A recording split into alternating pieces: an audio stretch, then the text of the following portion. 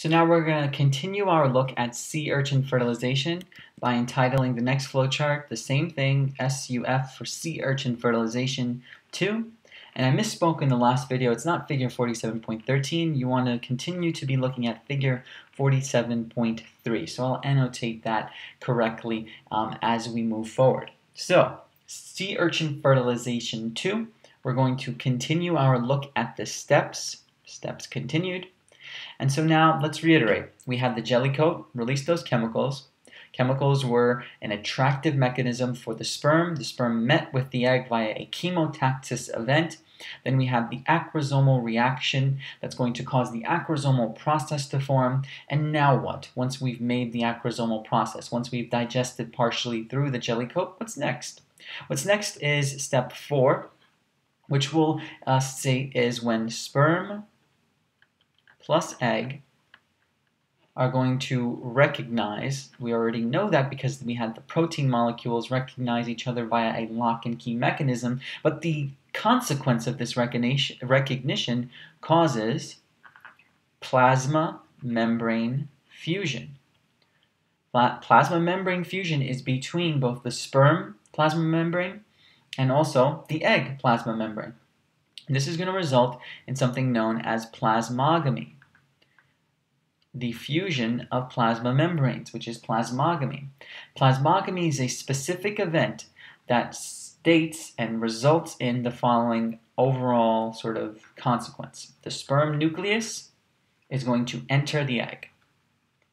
That's what you should think of as plasmogamy. When the sperm nucleus enters the egg, you've fused two structures, two plasma membranes. The sperm, the nucleus has a membrane around it, remember, and you also have the plasma membrane of the egg that's going to fuse together in this plasmogamy event.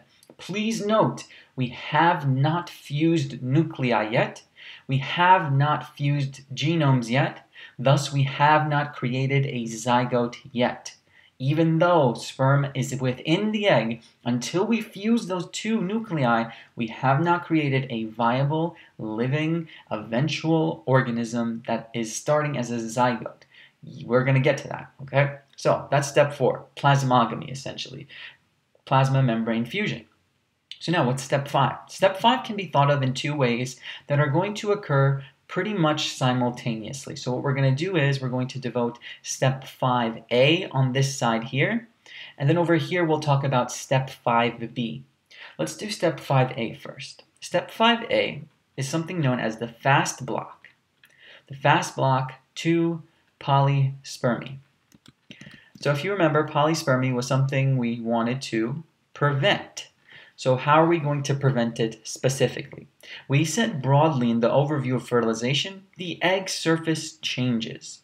And now let's look at the details associated with those changes via the fast block mechanism that prevents polyspermy. So let's see what happens here.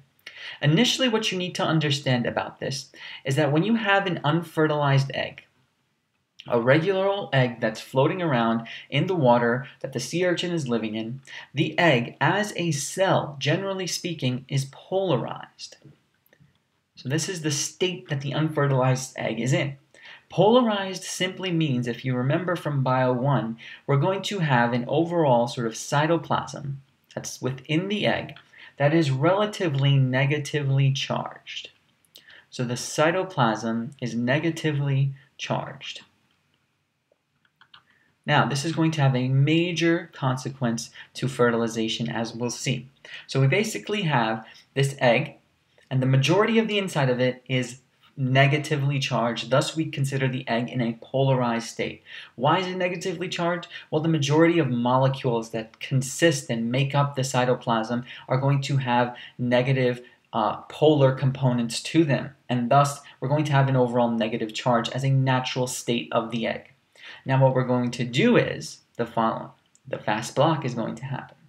Within seconds, within seconds, one, two, maybe three seconds, what's going to happen is once you have the sperm and egg recognized, once you have fast block initiated upon the recognition, this is going to be flipped upside down. The egg plasma membrane, the egg plasma membrane, uh, ion channels open. So remember ions are small charged particles. okay? And we're going to have these channels that allow in small charged particles open up once we have a plasmogamy occur. So plasmogamy happens, then the fast block to polyspermy happens. The fast block to polyspermy is within seconds of plasmogamy, you're going to have the egg plasma membranes ion channels open. What is this going to cause? This is going to obviously cause something to come in because you're opening channels. You're going to be causing sodium ions, Na+.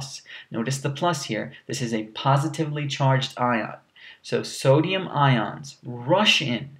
They are going to flow in at a great rate. They're going to rush in. They're going to cause what's known as egg depolarization. Depolarization. If the egg was initially polarized, we're going to depolarize. What does that mean? That means we're going to cause the egg to become not negative, but to become dipolar. The opposite of polar, positive, because positive ions are rushing in. This is going to cause depolarization, and this is all going to be in about one to three seconds after sperm binds, after, I'll say, binding. So just notice the timeline that we're in. Why are we talking in seconds? Why are we talking in this timeline? Because this is the fast block to polyspermy. So once we have this, big deal, what is this going to cause? This is going to cause the egg to be sort of unattractive to fellow sperm that are floating around in the medium of water. Because what's going to happen is this overall state of a positively charged egg is weird to sperm. The sperm that are floating around are not going to want to fertilize a positively charged egg because that is a sign that something has already is already about to fertilize the egg because they've already had a plasmogamy event within them. So this is basically a sign to all the other sperm to say back off. I've already been possibly fertilized through this plasmogamy. You don't need to do anything. So what we're going to broadly state is that this eventual event prevents fusion with any other sperm because of depolarized egg. Think of a depolarized egg as unattractive to sperm because it shows that there's already something that has caused depolarization.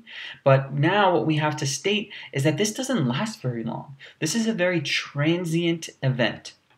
Remember, we're trying to stop polyspermy. We're trying to stop other sperm. Clearly, we are right here. We're showing ourselves as already polarized or depolarized. Do not come and try to fertilize me. But this is a transient event. It's a fast block to polyspermy. Transient simply means that this is a short event that only lasts about one minute. So how are we going to deal with the post one minute uh, attempts at polyspermy? The egg can't be in this depolarized state for more than one minute. So how do you stop other sperm from then coming in one minute later?